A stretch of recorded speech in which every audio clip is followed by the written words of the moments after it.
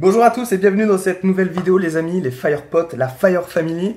Euh, Aujourd'hui je voulais faire une vidéo réaction, euh, ça n'arrive jamais, c'est la première fois que je le fais et sans doute la dernière fois, enfin quoique, ça peut, arriver.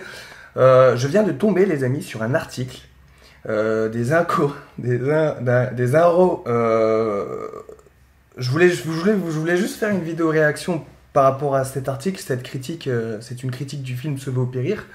Euh, parce qu'en fait, la personne qui a écrit, euh, je sais pas comment elle s'appelle, euh, Théo, qui a écrit cet article, il a rien compris au film en fait. Je sais pas à quoi tu t'attendais, mec, mais donc du coup, je voulais juste, comme je sais que la brigade ne répondra certainement pas à cette critique et que et que d'ailleurs personne ne répondra à cette critique, je voulais, je voulais le faire pour t'expliquer un peu deux trois trucs, pour que tu puisses comprendre quand même et peut-être réajuster ton point de vue parce que bah parce qu'en fait tu t'es trompé sur toute euh, toute la longueur en fait. Euh, déjà je vais me présenter, tu dois certainement pas me connaître. Je m'appelle Vincent, je suis euh, j'ai été pompier de Paris pendant 6 ans, pendant plusieurs années. J'ai également été pompier volontaire.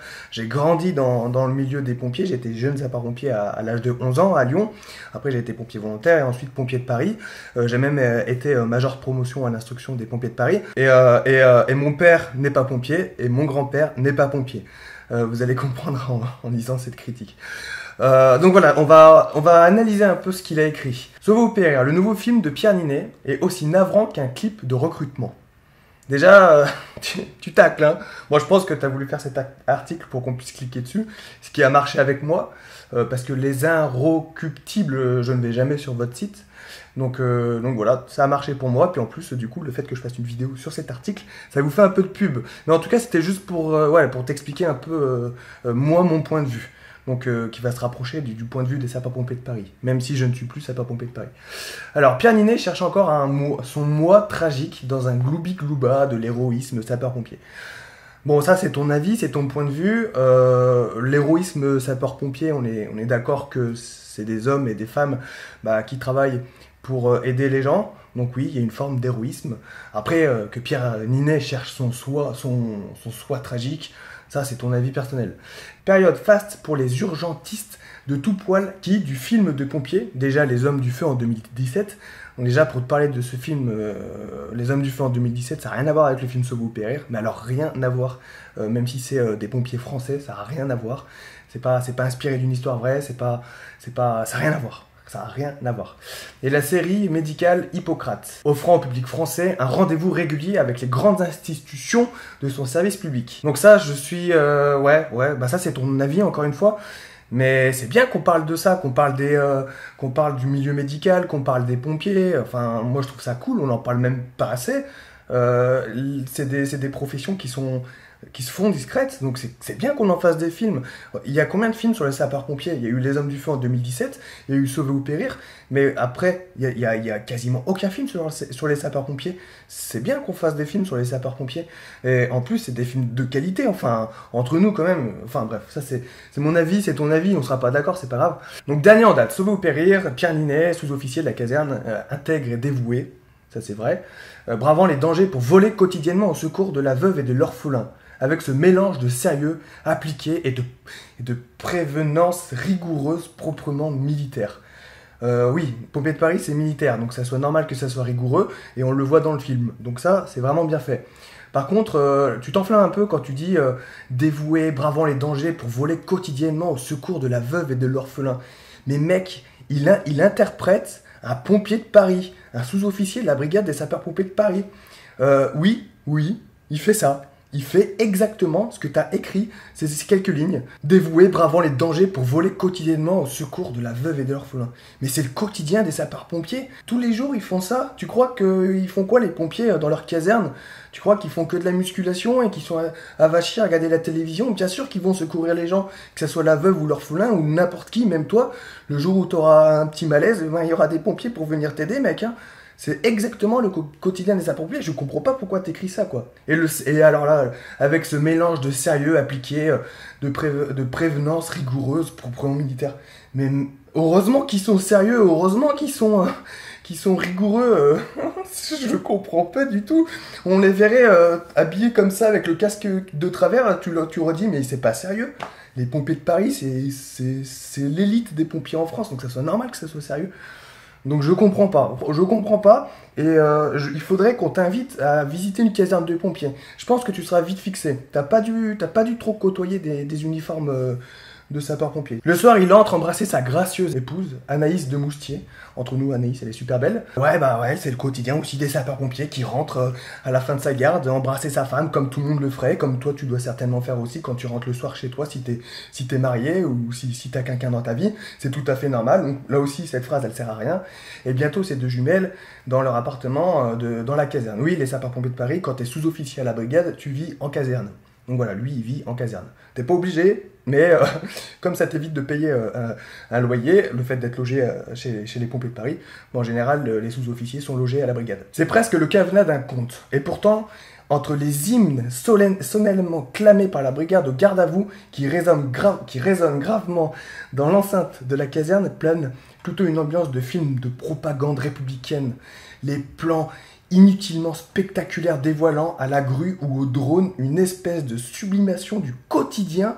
Là, ça me rend dingue. Ah, j'ai des frissons. Faut que je me calme. Du quotidien des hommes du feu qui frisent le clip de, de, campagne de recrutement. On, on cherche dans un coin du plan un Christopher Castaner. Mais, mais mec, t'étais bourré quand t'as écrit ça ou quoi? Je vois ce que tu veux dire en, disant ça. Euh, oui, euh, les pompiers, ils chantent la Marseillaise. Les pompiers de Paris chantent la Marseillaise. Le lundi matin, on fait les morts au feu. D'accord? Il y a des gens qui sont morts au feu, on, pense à eux tous les lundis matins. Et ensuite, on chante la Marseillaise. Ok? On regarde à vous. On pense à nos morts. On y pense tout le temps. D'accord? C'est normal. J'ai un pote qui est mort au feu. On a tous, connu plus ou moins quelqu'un qui est tombé euh, au feu. Encore plus ces dernières années, ça n'a pas arrêté. D'accord? Et ce que euh, Frédéric, le réalisateur, a filmé dans cette caserne, c'est exactement le quotidien dans une caserne. C'est comme ça. Peut-être pas tous les jours, d'accord Mais au moins une fois par semaine, le lundi matin. Ok? Donc en fait, il, n'a rien euh, encensé. Il, a juste montré ce qui se passait réellement dans les casernes. Je suis un peu touché, je suis désolé, parce que ça, ça me touche vraiment. Je trouve que ça, c'est nul. Ce que tu as écrit, c'est vraiment nul. Nul, nul, nul. Va dans une caserne le lundi matin, tu l'entendras la Marseillaise. Tu les verras les mecs au garde à vous en train de, lire la liste des morts au feu. Il faut que je me calme. J'ai rien contre toi, hein. je veux juste t'expliquer euh, avec mes mots et voilà, bon là ça me touche, mais bon, on va passer. Cela, voilà. Donc en fait, ton avis, il est, il est vraiment. je comprends pas. Parce que aux yeux de tous ceux qui sont à la BSPP, on a tous trouvé que ce film reflétait euh, vraiment la, la réalité d'un pompier de Paris en fait. Et toi, quand t'as vu le film, tu t'es dit, ouais, c'est. C'est. Non, c'est ça, c'est ça, mec. Après, là aussi, ça m'a fait rire de Moustier, donc euh, euh, la femme de, de, de dans le film, gambadant, robe à fleurs, discrètement flattée par les remarques bon enfant des brigadiers s'affirmant à leur musculation. Là aussi, euh, euh, Pompiers de Paris, ils ont du respect envers la femme de leurs collègues, d'accord? Donc ouais, il y aura peut-être des remarques, bon enfant, bah ça c'est normal, c'est une communauté, comme dans toutes les communautés, on, peut euh, être amené à ça, euh, à des remarques, bon enfant, comme tu dis. Euh, mais après tu dis, ça, fait rang à leur musculation. Alors toi, t'as cru que dans le film, ils faisaient de la musculation pour faire de la musculation, pour faire beau gosse, pour faire des vrais? Sache qu'à la brigade, on fait 4 heures de sport par jour, des fois plus, d'accord? 2 heures le matin, 2 heures le soir. Pour les plus motivés, on fait une séance après, après manger, le soir, avant d'aller se coucher, parce qu'on aime ça, on aime le sport, c'est quelque chose qui nous passionne. Et je pense que Pierre Ninet, il a vu ça, parce qu'il a fait beaucoup de sport, vous l'avez vu, il s'est préparé avec les pompiers de Paris, il s'est transformé physiquement, et ça, c'est pas du mytho, mec. Du sport, on en fait, mais tout le temps à la brigade. Euh, que ça soit le matin, le soir. Et c'est une passion, c'est quelque chose qu'on aime. Et après, quand on est sur intervention, on est vachement opérationnel. Et c'est donc c'est vachement utile au final de faire de la musculation. On fait pas ça pour être beau au bal du 14 juillet, même si certains le font. Non, mais tu vois ce que je veux dire? Regarde, il y a eu les émeutes dernièrement. Les pompiers, ils ont ramassé dans leur tête, là, euh, un truc de dingue. Et bah, ils ont été présents. Et s'ils auraient pas eu cette condition physique, bah, ça aurait été encore un peu plus dur pour eux. Donc voilà, donc en fait, la musculation, là aussi, c'est un, c'est un peu un préjugé que tu as, que je trouve euh, encore une fois nul et, inutile ici. quoi.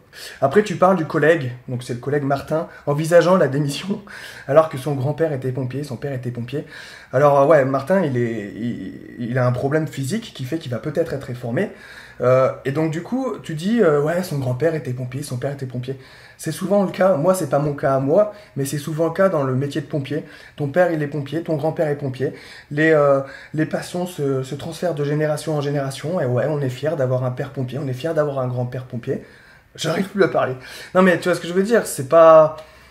Ça aussi, c'est nul. C'est trop beau d'avoir un père pompier, d'avoir un, grand-père pompier, de suivre leurs traces. Non, c'est trop beau. Enfin, moi, je trouve ça bien. On n'a pas vu en France depuis longtemps ce condensé d'héroïsme masculin librement assumé. Ouais, ok, il n'y a, peut-être pas assez de filles dans le film, qu'il y en a quelques-unes quand même. Sache qu'à la brigade, il y a un tout petit pourcentage de femmes, il n'y en a pas beaucoup, c'est difficile pour elles, mais elles s'engagent, elles sont là, et elles font leur taf remarquablement bien. Donc, euh, donc voilà, là aussi, là aussi, je trouve que ça n'a pas d'intérêt ce que tu marques là. Dans le film, on voit les pompiers, les beaux gosses, tout ça. Et ouais, il y a semi... semi oh là aussi, ça m'a... Oh, cette critique, mais attends, mais. Caricature du mal achevant son destin de protecteur taiseux. Le faire jouer par une crevette semi-bodybuildée n'est pas dépourvu d'ironie. Alors là aussi, euh, le physique qu'a Pierre Ninet dans son film, euh, Sauve ou Périr, euh, eh ben, c'est le physique de beaucoup de pompiers de Paris. J'avais exactement le même, tu vois, exactement le même physique. Donc, euh, c'est quoi le but d'être sapeur-pompier? C'est d'être une grosse machine de guerre super musclée ou d'être, d'avoir ce physique-là assez fin, euh, sec et, surtout puissant et endurant et efficace sur intervention? C'est ça le principal. Le physique, on s'en fout. Une crevette, une crevette semi-buddy mais on s'en fout en fait que ça soit une crevette ou un, ou un mec super costaud. Le principal, c'est que le mec soit opérationnel sur l'intervention. Toi, tu juges le physique, encore une fois, c'est complètement stupide quoi. Donc sa femme, elle fait euh, la cuisine au regard inquiet à la fenêtre. Rentrera-t-il ce soir Et de jeu d'éveil. Ça aussi, c'est genre tu te moques de sa femme qui regarde par la fenêtre en s'inquiétant de son, son, mari. Mais va voir les femmes de pompiers. Va voir les femmes de pompiers, mec. Elles sont toutes inquiètes parce que c'est un métier risqué. Tu vois ce que je veux dire? Il y a des morts, il y a des pompiers qui meurent, il y a des pompiers qui tombent, il y a des pompiers qui se blessent. Il y en a encore hier, là, qui se, enfin, dans la vidéo, je sais pas quand est-ce qu'elle sortira, mais il y a encore eu un suraccident, là, sur l'autoroute. Il y a des pompiers qui se sont fait faucher. C'est un métier super risqué, tu vois. Euh, on prend plus de risques en partant sur intervention qu'en prenant l'avion, tu vois ce que je veux dire? Donc oui, les femmes sont inquiètes, les enfants sont inquiets, les parents sont inquiets. Mes parents, ils étaient inquiets quand je prenais mes gardes à Paris. C'est normal, non? Enfin, l'inquiétude, c'est aussi euh, une preuve d'amour. On n'a rien contre les films de métier, mais de là à les faire réaliser par des conseillères d'orientation. Franchement, là, c'est tu te trompes totalement. Parce que peut-être que ce film va faire une lettre d'évocation, et c'est bien, mais c'est pas le but premier du film. Le but premier du film, c'est de raconter une histoire. L'histoire d'un mec qui a vécu ça. Tu vois, ce personnage s'appelle Éric Vautier, c'est un vrai, une vraie personne, tu vois ce que je veux dire Il va voir, euh, les, euh, Va, voir mes vidéos sur internet si, le sujet t'intéresse. Va voir son histoire. Il y a un reportage que, j'ai sorti sur ma chaîne il y a quelques jours. C'est vachement intéressant et tu vas vraiment comprendre. Et il raconte l'histoire vraiment bien. Bernard Lebar a suivi, en gros, je vais te, faire la, je, vais te la faire courte, mais un pompier de Paris a suivi euh, Eric Vautier qui s'est réellement blessé euh, comme dans le film. Et il a fait plein de photos. Et il en a fait un livre. D'accord? Ce livre, il est extraordinaire. Et, euh, ça, a certainement inspiré le, le réalisateur à réaliser ce film. Tu vois ce que je veux dire? Euh, et, moi, j'ai lu le livre, j'ai vu le reportage, donc le vrai reportage de, l'histoire de Eric Vautier. Et quand j'ai vu le film, je me suis dit, ce film, il est parfait, quoi. Il reflète exactement déjà la vie des sapeurs-pompiers que j'ai pu vivre. Et en plus, l'histoire, je trouve qu'elle est vraiment, bah, elle est vraiment bien faite, même si ça se passe pas à la même époque, même si les noms sont changés, même si, voilà, c'est un peu romancé. Voilà, c'est le but aussi du film, c'est que ça plaise un peu à tout le monde. Bah, je trouve qu'il est vraiment bien fait. J'ai fait d'ailleurs une critique du film, si tu veux aller voir, vas-y, Fais-toi plaisir. Quoi qu'il en soit, le sujet du film, voilà. Donc après, tu parles du film, euh, donc tu dis que ça commence à prendre du sens quand il est grand brûlé, défiguré, euh, machin, euh, dépendant, machin. Ses gestes deviennent très lents, sa parole est limitée. Ouais, voilà. Après, il est grand brûlé, donc c'est normal.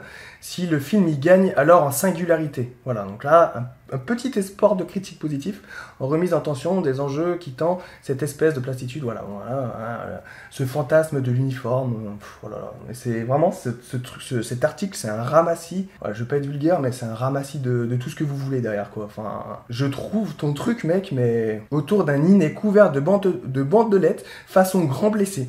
Mais mec, il est grand blessé, il s'est brûlé à 80%. Il est, il est grand brûlé, c'est normal qu'il ait des bandelettes. C'est pas fait pour faire euh, style, il est blessé. Mais mec, mais va dans les services des grands brûlés, mais va voir comment ça se passe, les grands brûlés, quoi. Mais. Ah, ah, je suis buté. Après, là aussi, ça m'a, ça m'a fait, ça m'a fait quelque chose, tu vois. Tu parles du drame qui se passe un peu dans la famille, tu vois. Euh, donc, euh, la famille qui est solidaire, quoique fissurée par ce drame où elle peine à jouer le rôle de pilier moral d'une épouse qui, peu à peu euh, voit s'effriter sa capacité à soutenir efficacement son époux. Là, t'es là, là, t'es con. Clairement, t'es con, quoi. T'as pas compris, quoi. Le mec, il vient de vivre un drame. Il est, euh, il est complètement défiguré. Sa vie, elle a, elle a, elle a changé, voilà, complètement changé. Et tu crois que ça va être facile pour sa femme? Tu crois que la femme des pompiers de Paris qui, qui sont blessés, tu crois que c'est facile pour elle? Tu crois qu'elle n'y pense pas à partir à, comme, comme ça s'est passé dans le film? Tu crois que c'est normal, quoi. Un drame, c'est facile pour personne. Et t'as certainement vécu aucun drame dans ta vie pour écrire ces lignes, quoi. Parce que ça, c'est tout à fait normal. Et après, il y avait quoi qui m'a fait rire? Les colliers de nouilles. Euh, oh. Une espèce de, de tautologie de drame, le malheur qui s'abat et que l'homme encaisse et transcende, émaillé de banalités sur la vie, qui est du sable et tout est, tout est emporté, euh, sauf les choix qu'on fait et les sentiments. Là, tu te moques clairement de la poésie du film. Et la vie, euh, c'est ça en fait. Tu vois ce que je veux dire? C'est poétique et autant le prendre du bon côté plutôt que du mauvais côté, non? Enfin, je sais pas quoi. euh, La morale, elle est plutôt belle, le film, il est plutôt beau. C'est non sans une pointe de ricanement qu'on verra donc le plutôt joyeux Pierre Ninet s'adonner à cette euh, partition d'un autre âge. Euh, ouais, ouais, ouais, ouais. Les pompiers de Paris, il y a 50 ans, ils étaient là et dans 50 ans, ils seront encore là, tu vois. Ils seront encore sur le terrain à aider les gens, quoi. À, t'aider toi si jamais t'as besoin. Là aussi, ça m'a fait rire, mais mec, t'as as dû fumer un gros bédo avant de, avant d'écrire cet article. On ne peut s'empêcher d'y chercher en vain des signes de légère ironie. Va-t-on à un moment où un autre crevait l'abcès sur l'espèce de gag qui consistait à voir l'arlequin Ninet enfiler le costume du héros pa- patriarche? Ou des pistes d'ambiguïté morale à même de réveiller la maisonnée? On s'est surpris à espérer qu'Anaïs de Moustier, donc la femme de Pierre Ninet dans le film, dans une phase de doute et de confidence, se tape malencontreusement le docteur. Mais t'es con ou quoi? Mec, c'est tiré d'une histoire vraie. C'est tiré d'une histoire vraie. Là, t'as aucun respect. T'as aucun respect. Ta tête, euh, dans ta tête, il se passe des trucs. hein. Il faudra que t'ailles consulter, je sais pas. Là, tu. Oh là là, putain, mec. Oh. Et après, là aussi, Ninet cherche mollement ses mots pour un, sous un pansement intégral qui le fait ressembler à un catch de lucha libre. Je dis rien par rapport à ça. Le mec, il est grand brûlé. hein. Il est grand brûlé, le mec. Donc c'est normal euh, qu'il ait. euh, C'est normal, c'est normal. Laisse tomber, c'est normal. Tu comprendras plus tard. À l'arrivée, on se demande encore ce qu'on vient de voir. Sinon, l'une des fausses bandes annonces césarisables qu'aurait imaginé un Tropic Thunder à la française. Je ne connais pas ce film. Ou à l'instar d'un Ben Stiller, ça, je passe. Pierre Ninès sans les dire bille en tête dans une partition de Grand Brûlé à haut degré. De On ne l'a jamais vu comme ça. Il s'est transformé pour le rôle. Eh ouais, il a fait un taf merveilleux pour interpréter ce rôle-là. Ninet est un bon acteur, tu vois. Euh, tu l'aimes peut-être pas, mais c'est un très bon acteur. Et il faut l'admettre. Il joue très bien ce film. Dans ce film, en tout cas, il joue très très bien. Donc oui, on l'a jamais vu comme ça. Et oui, il s'est transformé pour le rôle. C'est le métier d'acteur. L'acteur se transforme pour jouer au mieux le rôle qu'il interprète. Tout à fait normal. Voilà mec, Euh, voilà mon, mon point de vue par rapport à ta critique que je trouve nulle. Nul, nul, nul. je suis désolé. euh, j'espère que, bah, si jamais tu regardes cette vidéo, ça m'étonnerait, mais si jamais tu tombes sur cette vidéo, j'espère que tu auras un peu plus compris. Et, euh, et, je t'invite, mec, là je suis à Taïwan, parce que je, visite les casernes, hein, c'est le but de ma, chaîne YouTube. Je visite les casernes de pompiers et je, parle beaucoup de sapeurs-pompiers dans, dans- sur ma chaîne YouTube, parce que je suis vraiment passionné du métier. Je suis certain que tu vas te moquer de moi quand, je vais dire ça. Mais ouais, pompier c'est un métier passion. Je suis passionné de, de, de, de pompiers. Je vis de ma chaîne YouTube, mais euh, qui traite euh, des, sapeurs-pompiers. Donc je t'invite, quand je reviens en France cet été, euh, on se rencontre et on va visiter une caserne, n'importe quelle caserne. Je peux même organiser ça, t'inquiète pas, on, s'occupe de tout. Et tu verras le- le quotidien des sapeurs-pompiers. Ton avis changera certainement sur la question. Parce que, par exemple, Pierre Ninet et Anaïs, qui joue sa femme dans le film, ils ne connaissaient vraiment pas le monde du sapeur-pompier. Et après avoir fait le film, eh ben, ils ont été transformés parce qu'ils ont vu réellement ce, que, ce qu'était le quotidien des sapeurs-pompiers. Et moi, quand je regarde le film, et là, c'est mon avis, mais je, l'affirme clairement, quand tu vois le film, et je pense que beaucoup de pompiers seront d'accord, et encore plus les pompiers de Paris, parce que les pompiers de Paris, ils ont aidé à réaliser le film, tu vois, il faut le savoir aussi. Donc euh, le film reflète vraiment la, reflète vraiment la vie en caserne. Et, euh, et donc du coup, et donc du coup, eux, ils ont vécu à l'intérieur des casernes pendant plusieurs mois et ils ont été, euh, waouh, très, euh, transformé, tu vois. Donc euh, voilà, tu ne connais pas le métier de sapeur-pompier, tu as fait une critique sur un film dont tu connais pas du tout le métier, et bah, je t'invite, alors on, je t'invite, on ira, on ira visiter une caserne et tu iras vraiment voir ce qu'ils, ce qu'ils font. Voilà pour cette vidéo, désolé, je me suis énervé, c'est la première fois de ma vie que je m'énerve sur ma chaîne YouTube, que je m'énerve comme ça, je me suis jamais énervé, je m'énerve jamais, je suis pas... Voilà, mais après c'est en voyant des trucs comme ça. Donc je voulais, je voulais un peu euh, dire ce que, je pensais. Cette vidéo ne changera pas le, cours de l'univers. Voilà, je voulais juste dire ce que je pensais de ton article, de, cet article. Euh, les uns. J'arriverai jamais à le dire ça. Les inrocuptibles. Euh, tous les lecteurs de ce, site internet, c'est un magazine aussi. Les inrocs. Les inrocs, on va dire les inrocs. Vous allez vous foutre de moi parce que je ne sais pas dire. Mais, mais je mets le lien dans la description, donc vous pouvez aller voir l'article si vous voulez. Euh, voilà, après, euh, c'est l'avis du mec, du personnage. Euh, je pense pas que ce soit l'avis de, tous les Inrocks. Donc on va pas cracher sur les Inrocks, c'est comme ça. De toute façon, on peut ne pas aimer ou aimer un film.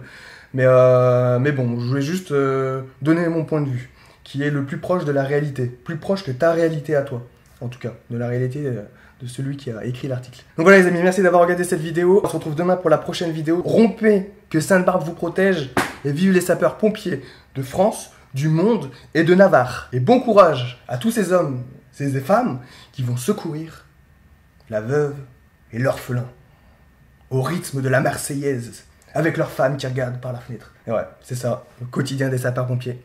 À bientôt. Ciao. Ah oui, et puis j'ai oublié de vous dire, si vous voulez vous faire un avis du film ou de n'importe quel film, ce que je vous invite à faire, c'est d'aller sur le, sur le site internet Allociné, vous voyez, euh, vous tapez le, nom du film, vous regardez. Ici, il y a les critiques, d'accord? Donc il y a toujours la presse, ça sera toujours euh, mal noté la presse, parce que bah, ils notent toujours mal, ils sont durs avec les films. Et là, vous regardez euh, les spectateurs. Donc là, ici, vous voyez, il y a quand même 845 notes contre 21 pour la presse. Spectateurs, 845 euh, notes, d'accord Donc c'est juste énorme, dont 160 critiques. Là, il y a juste 21 critiques, d'accord Donc ici, spectateur, vous allez là. D'ailleurs, le film, il est très bien noté. Il est noté à 4,5 sur 5. C'est juste une note énorme. Euh, c'est vraiment bien. C'est vraiment bien noté. Donc là, ça, euh, voilà, on peut barrer parce que bah, vous pouvez aller voir, mais c'est des critiques comme, comme on vient de le voir, pas très, pas très constructives.